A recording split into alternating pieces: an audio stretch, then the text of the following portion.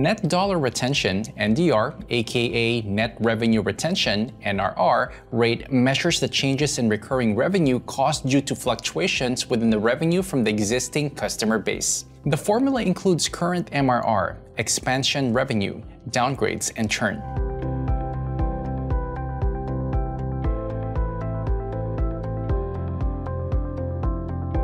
If you're more comfortable with annual calculations, you can go ahead and switch the MRR inputs with ARR values. Although it is recommended to perform monthly calculations as well to dig deeper into the components that make up your net revenue retention. Let's take a couple of scenarios to illustrate the importance of this metric. Company A starts the month with $10,000 in recurring revenue. Over the month, it adds $3,000 in expansion revenue. $1,500 in downgrades, and $500 in churn.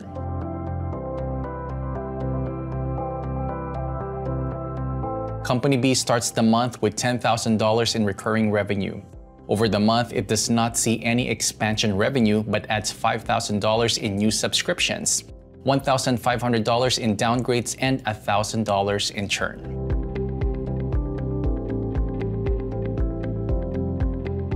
By looking at the MRRs alone, you would say that company B fares better. However, going by the NDRs, not so much. This is where calculating NDR plays a pivotal role in recurring revenue valuation for SaaS companies. Renewal rate measures the percentage of customers who renew their contracts at the end of their subscriptions. There are two methods of calculating the renewal rates. The first one is the count or customer renewal rate. The number of renewed items against the number of renewable items gives the count or customer renewal rate. The formula is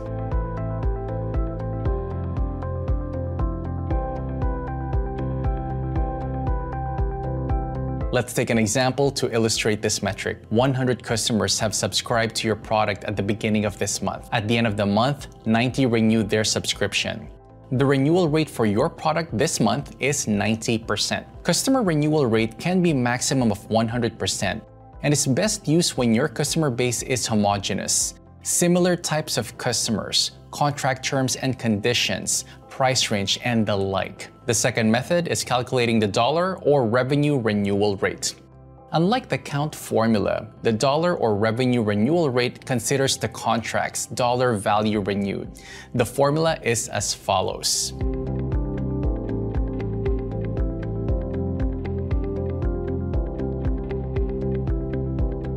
So let's hop on to the next metric now. In SaaS, churn is the rate at which customers cancel their subscriptions. It's usually measured as a percentage. To calculate your SaaS churn rate, you need to figure out what you're looking to track. You could either track the revenue you're losing or your customers. Here are a few churn numbers. Annual revenue churn, monthly revenue churn, subscriber churn. ARR churn and MRR churn would calculate the revenue lost whereas the subscriber or customer churn rate will calculate the rate at which you're losing your customers. For most businesses, ARR churn isn't a key indicator since the measurement intervals are too far apart, yearly. You can't make any active changes. Subscription churn.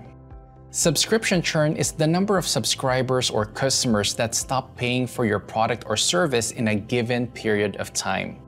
Churn can be seen from different angles, and businesses can have their own way of calculating it based on what is relevant for their organization. Subscriber churn is calculated as the ratio of the number of customers lost during a period, typically a month or a year, and the number of customers present at the beginning of that period. If the number of customers at the beginning of the year 2019 is 100 and through 2019, 5 of those customers canceled their subscriptions, subscriber churn is 5 over 100 or 5%. MRR churn.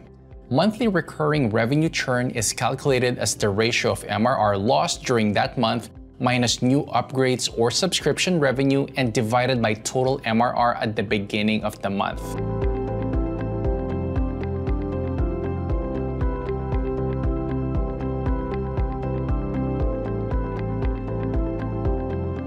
If a company had $300,000 MRR at the beginning of the month, $250,000 MRR at the end of that month, and $70,000 MRR in new subscription revenue from existing customers, the monthly churn rate would be negative 6.6%. A negative churn rate means that the new revenues adding during the period were greater than those that canceled.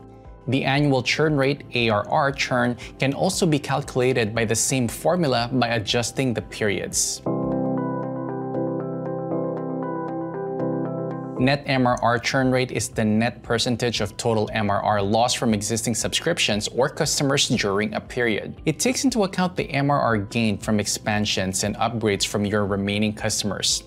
It gives you a clear indication of how much increase or decrease in revenue can be expected from your existing customers. The difference between net MRR churn rate and gross MRR churn rate is that the latter doesn't take into account expansion revenue from the existing customer base. Here's how it's calculated.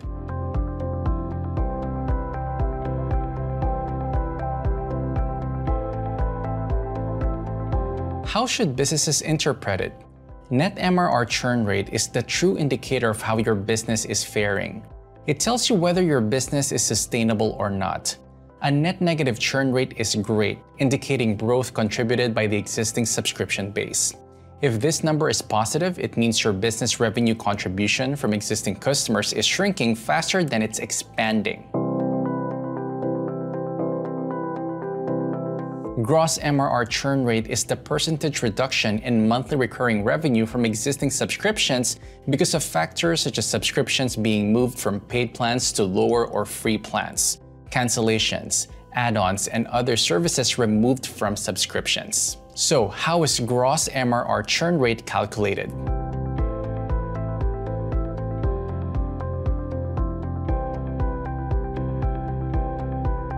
The overall contraction in the MRR can be due to downgrades or cancellations.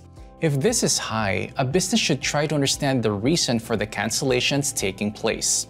It could be voluntary churn wherein dissatisfied customers cancel their subscription due to lack of perceived value, or it could be involuntary churn wherein the customer's credit card expires and hence the subscription gets canceled. Revenue churn is a measure of the recurring revenue lost by a SaaS business through subscription cancellations and downgrades. Revenue churn is derived as the ratio of revenue lost through a cancellation during a given period versus the revenue available at the beginning of that period. It's usually expressed as a percentage. Negative churn is a specific state of the net churn of a subscription business when it's able to add more in expansion revenue than it's losing as churned MRR. Net churn is calculated as